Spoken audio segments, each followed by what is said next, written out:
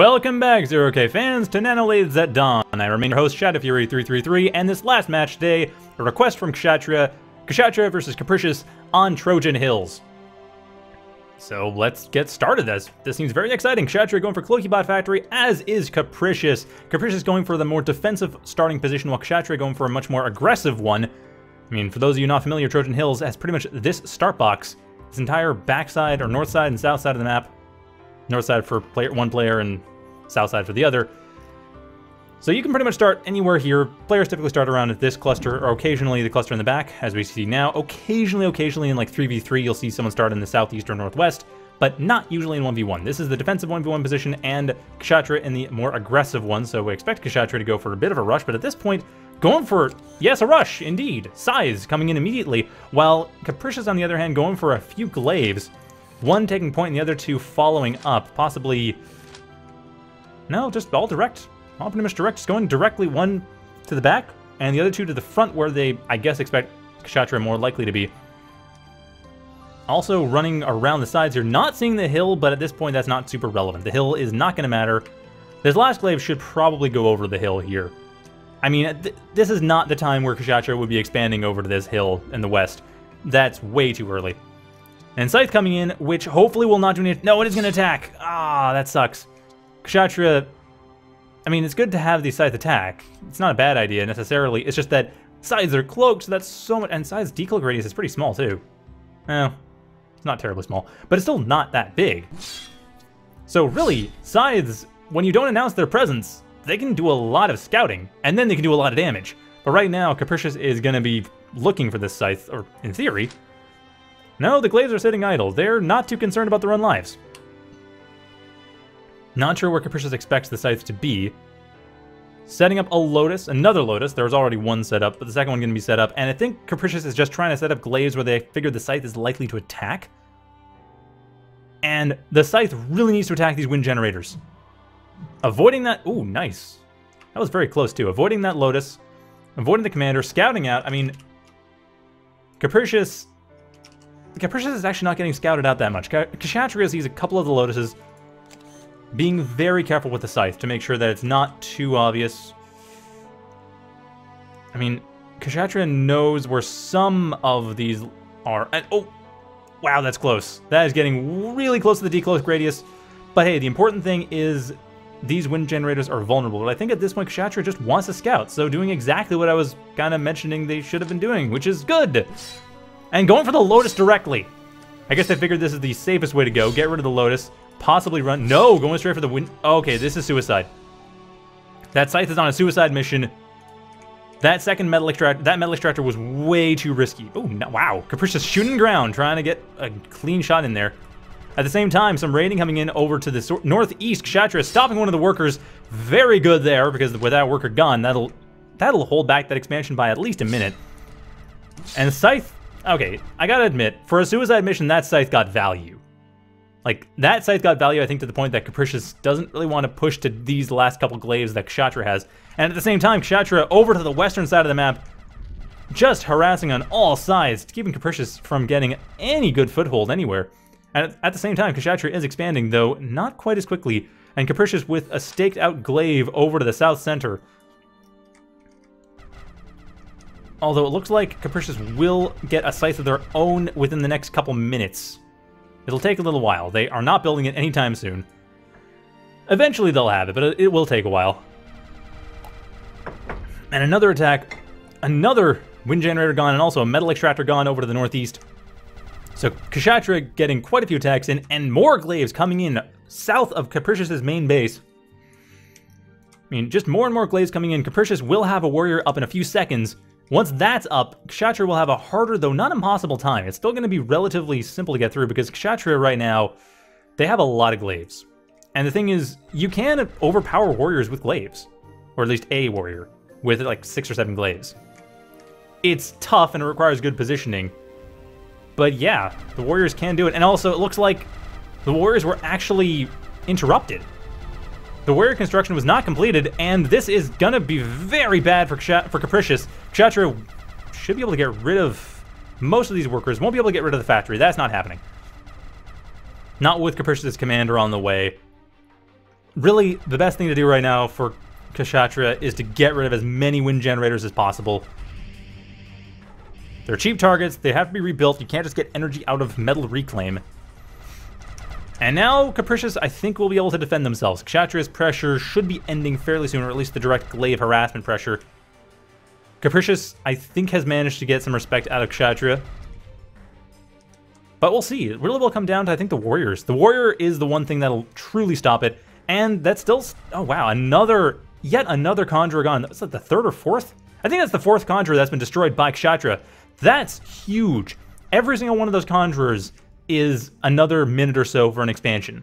Like, Capricis gets slowed down so much for every one of the Conjurers killed. And Kshatriya is just hunting them down like... Well, I guess like they were in season. It's Conjurer season now. Open season, no permits needed. You gotta skin and gut him yourself, though.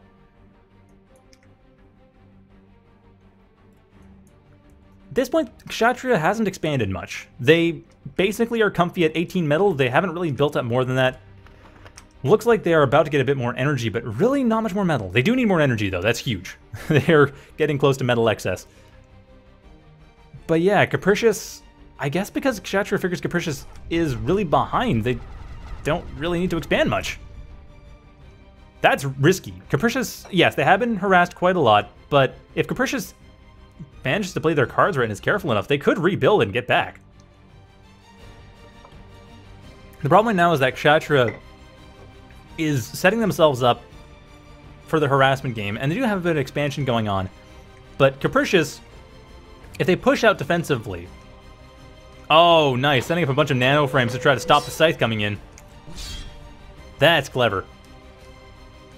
But yeah, if Capricious sets up safely, at this point, Kshatriya is actually, well, not that naked, but Kshatriya also hasn't expanded that quickly.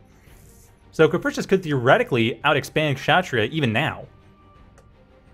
Like, if Capricis just expands slowly but surely, gets through, doesn't really do a lot of risky moves, and is able to deal with the sides, of course. That's the biggest thing. But if the sides can be dealt with, then I think Kshatriya could actually end up being on par. Also, Capricis has loads of Reclaim in their base like 300 some odd metal of reclaim in their base, so that's a good minute or so of one worker, like an extra plus five. So on par economy for at least a minute.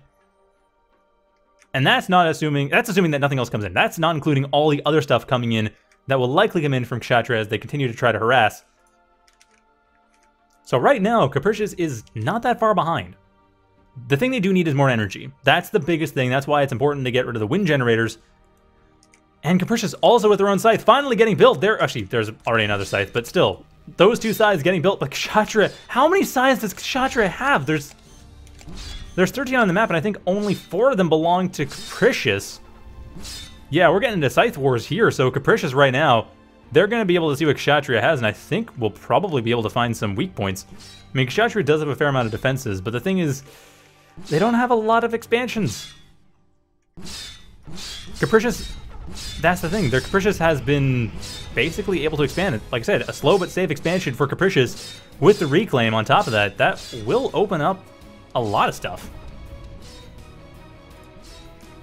Unfortunately, scythes remain cloaked, so Kshatriya still has a lot of harassment opportunities. And now Kshatriya with... Oh, they're getting reclaimed now? They are getting in the center of the map. Losing a bit of that too, though. The Scythe from Capricis not moving. Why is the Scythe not moving? It's about to get caught out, and it's gonna get killed at the same time once it does that. Actually, Kshatriya... Okay, now they care. Like, get that Scythe out of the way. Yeah, Kshatriya can come in here and deal a bit of damage, and the Staked Out Glaive actually doing a, a good job here. Get rid of that worker there. You've got a few seconds to get rid of that Conjurer. That'll actually bring things back. Allow Capricis some room to get back in there with this nice harassment. To do that, get rid of the Metal Extractor without being too close to it, because that glaive is going to take a fair amount of damage from that. But yeah, get rid of the Metal Extractors, get rid of the Workers, stop the expansions from being built up with impunity. Unfortunately, Capricis' Commander going down, that's a blow. That's a huge blow. That's about a quarter of their economy, and right now they are desperately trying to remain on par with, with Kshatriya, let alone being ahead. Rebuilding is not happening. Why is that not happening? This Conjurer really needs to be rebuilding the metal extractor over beside the factory here. I don't know what that's not happening. This one over here is happening, over to the northwest. So yeah, Capricis able to get some harassment in, but I feel like Kshatriya has just been harassing far better than Capricis has been, which is giving Kshatriya all the advantage they need. It's a small advantage, but it's enough. I mean, that's what I'm talking about, though. It's a small advantage. There's, like, 7 metal per second. The Reclaim could deal with that. Rebuilding the Metal Extractors would deal with that. I don't know why this Conjurer is not rebuilding the Metal Extractor here. Like, there's a lot of stuff that could deal with the advantage that's currently being afforded by this harassment. Although, unfortunately, not enough defenses in Kshatriya's main, sorry, in Capricis' main base. Kshatriya should be able to get rid of the Cloakybot factory right away. It's like, what, two or three shots left? Yeah, two volleys left. Cloakybot factory down. I think Capricis is going to throw in the towel. I mean, some valiant efforts with the Warriors here. Keeping out front, making sure that it's not going to be a complete wash. But yeah, unfortunately, not enough rebuilding there. Capricis did not rebuild when they needed to. They did start building up outside, though. They were never super far behind Kshatriya. Like, total metal used and produced is actually relatively close for the majority of the game. Near the end, yeah, as you can see, Capricis fell behind, but actually Capricis looks like they had a slight advantage. Mostly due to the spikes and reclaim and such. So, that is actually a lot more, I think a lot more even than it looked. It's just that Capricis was under a huge amount of pressure, and while the line of Gauss turrets wasn't a bad idea to stop scythes from getting in, I think what probably should have happened is that should have been leapfrogged, and then some effort to take this area should have been done afterwards. Like, it should have been leapfrogged, should have been enough of an opening so that workers could get through, because the scythes would still be revealed. And then that would have allowed for essentially a big attack here, or not attack here, but big expansion here over to the northeast. That would have probably helped, or at least provided more targets. That would have caused Kshatriya's harassment to be a little bit less focused on the main base, but that didn't happen. Still, a really hard position to be in. I mean, being under that much pressure that consistently with scythes, that is tough. That is very mentally draining. So I'm not surprised that the game went the way it did, but yeah, that's the thing. It's that kind of pressure, that's the point, is to put your opponent so far into an uncomfortable position that they're not sure what to do or when. Yeah, a lot of reclaim coming in from Capricis. They kind of had to. But it worked out too, man. That's the main reason their income was not that far behind Kshatriya was because of that reclaim. And because Kshatriya wasn't expanding too much when they were attacking. Anyway, that is that. Pretty good game. It means players I enjoy watching on a map I enjoy seeing played, so that was entertaining to me. Hope it was entertaining to you, and... Oh, nanoframes don't decloak! Oh, never mind! It's actually... I was wrong! Okay, so the Gauss turrets, a couple of them would have actually had been made. Thanks, Gazi, I wasn't actually sure about that. So yeah, apparently the nanoframes actually had to be a solid wall in order to stop the scythes from getting through. That's really good to know. Hmm. I mean, I guess you could terraform it so that the scythes had a choke point, and then you put in a turret there to reveal them. I guess that could work. Anyway, that was that, so thanks for watching. I hope you enjoyed that as much as I did, and have a good night, everyone.